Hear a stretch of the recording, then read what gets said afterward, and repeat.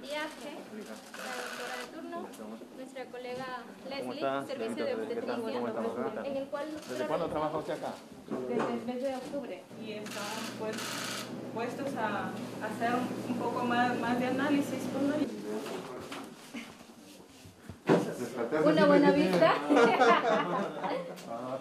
Muy bonito amanecer por acá. ¿Sí?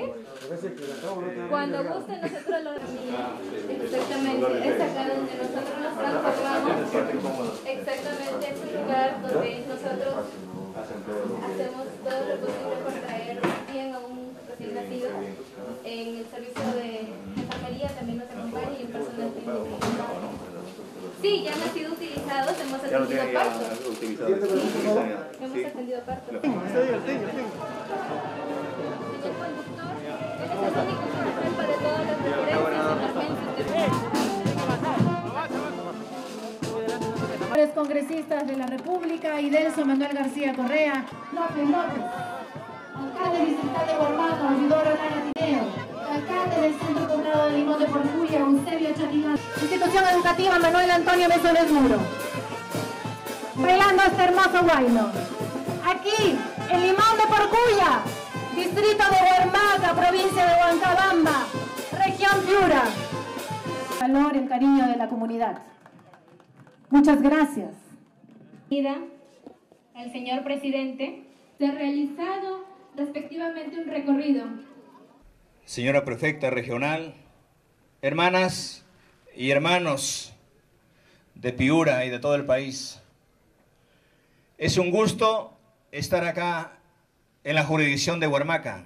Yo visité varias veces a Huarmaca, ni siquiera cuando se me pasaba la cabeza ser candidato a la, a- a la República. Vine en condición de maestro y conozco muchos compañeros hermanos, trabajadores, agricultores y maestros en este distrito, un distrito que se ha hecho con el propio sudor de su frente. Y desde acá, un enorme abrazo a todo Piura y a sus distritos, y más aún a la serranía como Ayabaca, Huancabamba y Huarmaca. Es para mí no solamente un espacio de venir a poner, en todo caso, a cortar una cinta. Y hemos hecho recorrido en este centro de salud y vemos cómo la persona que está al frente de esta administración sabe de la necesidad de su pueblo, pero cuando recorremos por sus establecimientos, por su espacio interno, nos indican que ahí está el equipo, ahí está el equipamiento que da el gobierno en el marco de los tres niveles de gobierno, pero no encontramos al personal para atender a la población. Eso es lo inmediato, señor gobernador regional. Nos tenemos que ponernos de acuerdo ya para que este centro de salud tenga la atención para el pueblo, tenga la atención de que nuestros compatriotas, nuestros niños, nuestras madres, los ciudadanos tengan que tener la atención, porque de nada servirá solamente tener un techo y una buena infraestructura si no hay quien nos atienda la población. Estamos acá no solamente para venir a hacer una promesa, no venimos a hacer un nuevo proyecto sino también a decir, a entregar al pueblo peruano, a entregar a Limón de Porcuya esta obra que es no un servicio, sino un derecho constitucional. La salud tiene que ser un derecho constitucional, aunque algunos no lo ven así, porque hay gente que cuando entendemos las grandes necesidades del país y le decimos al frente que hay que trabajar por el Perú, y que estamos del lado del personal que necesita ser reivindicado, como los profesionales de la salud, pero hay gente que, que no siente así, ¿sabe usted por qué? Porque jamás usted lo ve formando las colas en un centro médico, porque tienen los grandes privilegios para atenderse incluso fuera del país.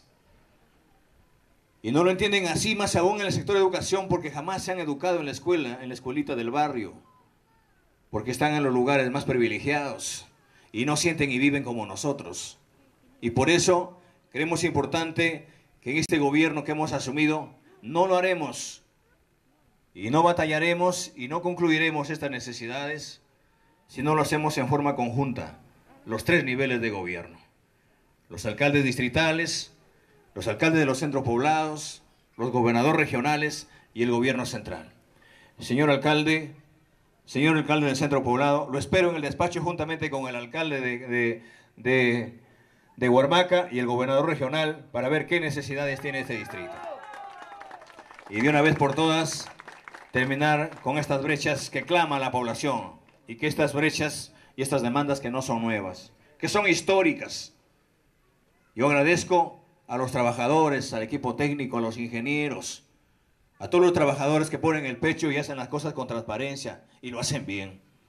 Y hacerla bien significa dejar en manos de la población para que la población entienda de que son derechos que le asiste como la salud, como la educación. Y hoy, en este marco de la emergencia agraria, también tenemos que ponernos del lado de los hermanos agricultores.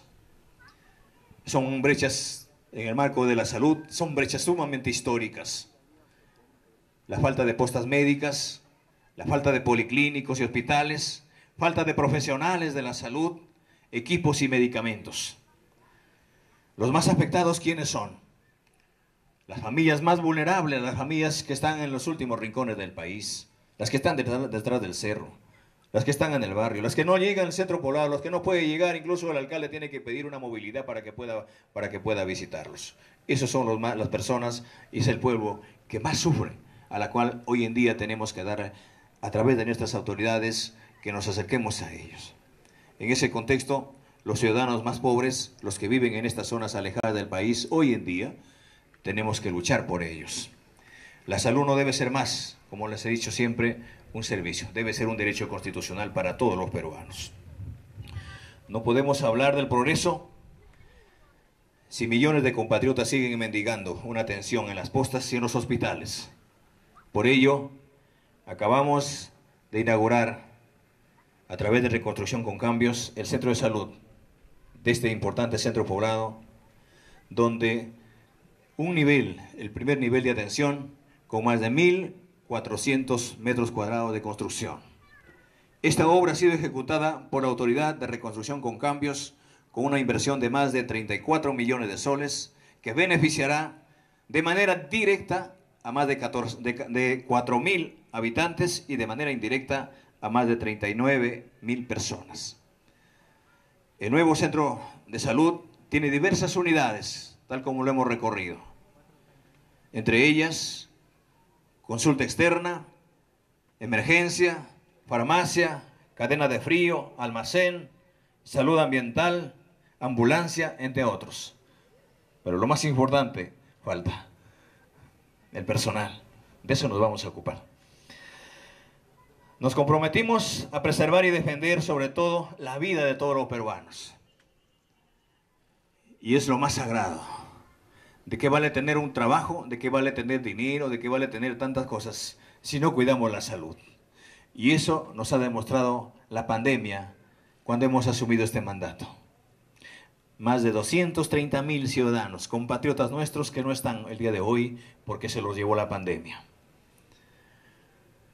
Y la pandemia nos ha demostrado que hemos encontrado un sistema de salud totalmente precario en el Perú. Y hoy tenemos que hacer el esfuerzo por doblegar y por cambiar el gran problema de la salud. En esta primera etapa desplegamos el esfuerzo y desde acá, desde Limón de Porcuya, quiero expresar mi agradecimiento y mi reconocimiento a todo el personal médico, a los médicos, a las obstetrices, a los enfermeros, a todo el personal de todo el país que se pusieron al frente para sacar adelante al pueblo peruano y garantizarles la vida a todos. Y hoy tenemos al pueblo que tienen dos y tres dosis contra la COVID y avanzamos en su aplicación a la, tercera, a la cuarta dosis. Esta semana anunciamos que más de 33 millones de peruanos cuentan ya al menos con un seguro de salud para atenderse en cualquier establecimiento de salud público y privado.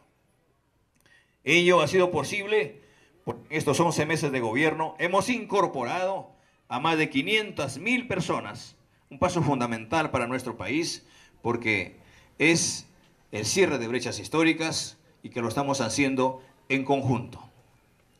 Precisamente para atender a los asegurados y a quienes vendrán en el futuro También avanzamos en la reconstrucción, en la puesta de funcionamiento con los hospitales bicentenario. Y esa es nuestra gran preocupación. Se trata de nosocomios construidos con un sistema rápido y con una alta tecnología en equipamiento. Estas son las obras que necesita el pueblo y están en marcha porque hay un gobierno que está preocupado por la salud del pueblo peruano y empezando por nuestros niños. Así también darles y entregarles no solamente infraestructura, sino también preocupados por la salud y también por la educación de nuestros niños. Sé que a nivel de la región de Piura hay que priorizar las instituciones educativas, hay que priorizar esas escuelitas que están cayéndose no solamente en Piura, sino en todo el Perú. Y esa es nuestra preocupación para que nuestros hijos tengan no solamente una educación básica acorde a los tiempos, sino también, y desde acá invoco y saludo la presencia de los congresistas de la región de Piura. Esa es la forma de trabajar. Volteemos la página y pensemos en la educación de nuestros hijos y pensemos en, las familias que necesitan ganarse los frijoles, tener el estómago lleno y eso es importante. Caminemos juntos, señores congresistas, que a eso creo importante trabajar de la mano para ver de qué manera enfrentamos estos grandes desafíos. Creemos importante decirles, queridos compatriotas, que el afán nuestro es ver cristalizados estos sueños y desde acá una vez más, desde esta tierra que siempre hemos recorrido por acá, siempre hemos viajado y muchas veces también hemos sido conscientes y somos conscientes de la precariedad del pueblo que está en el Ande, que esté en, en, los rincones más, más altos y más lejanos del país. Muchas veces las autoridades hacemos el esfuerzo por visitarlas, pero creemos importante que en la medida que nos pongamos de acuerdo, lo haremos efectivo estos grandes, estas grandes demandas para concretarla. Yo reitero que las autoridades locales, distritales, regionales, tenemos que ponernos de acuerdo para ver en una sola línea las necesidades de los centros poblados, de los distritos, de las provincias, de las regiones y el Perú en su conjunto. Las espero en Palacio, maestro y alcalde del centro poblado de Limón de Porcuya, juntamente con su alcalde, y en ese marco debo decirles, volteemos la página para entregarle al pueblo peruano no solamente puestos de salud, sino una una atención inmediata. Un abrazo a los hermanos agricultores, a los maestros, a los enfermeros y a todos y cada uno de ustedes porque estamos seguros que trabajando juntos sí se pueden hacer los grandes cambios que necesita este país. ¡Viva Guarmaca! ¡Viva Piura! ¡Viva el Perú! Muchas gracias. Fuertes palmas para el señor presidente constitucional de la República, José Pedro Castillo Terrones. Un agradecimiento especial a todas nuestras autoridades que se han hecho presentes el día de hoy, a los señores congresistas, Miguel Ángel Cixia Vázquez, Wilmar Alberto Helera García.